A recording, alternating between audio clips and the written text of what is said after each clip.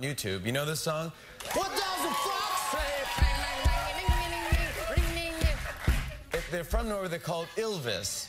Uh, it has more than 100 million hits in the last month. It's number eight on the Billboard chart. And it's about different animal sounds. Except they go, what does the fox say? The fox doesn't have a sound.